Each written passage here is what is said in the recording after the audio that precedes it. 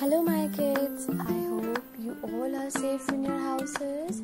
So stay safe and stay healthy.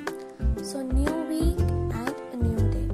Today, we will start through our next letter after D, that is letter E. Okay, so we had already understood the four letters that is letter A, will study about letter E. What you will say? Letter E. So let's start with letter E. Okay, so as you can see, this is letter E. Which letter is this? This is letter E. Okay, which letter is this? This is letter E. E for elephant. E for elephant. Elephant means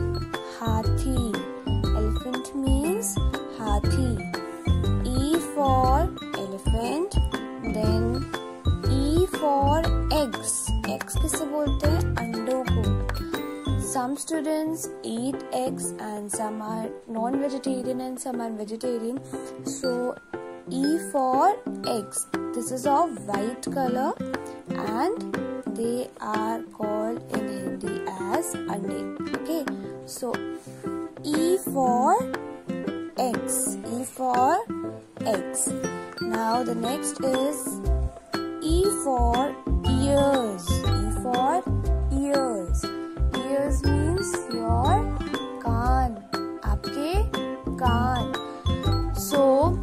what we had understood? This is letter e. E for elephant. This is of very big and this is of gray color. So e for elephant means hathi e for eggs means ande. And e for ears means kaan so this is letter e are the objects of letter e okay? So you have to learn this letter e by picture. You have to recognize the letter e okay? So thank you kidsy play school parade